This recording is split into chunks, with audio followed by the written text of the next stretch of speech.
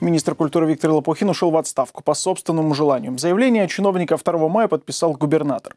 В сфере культуры Виктор Лопухин прошел путь от руководителя сельского клуба до министра. Официальная причина увольнения – выход на пенсию.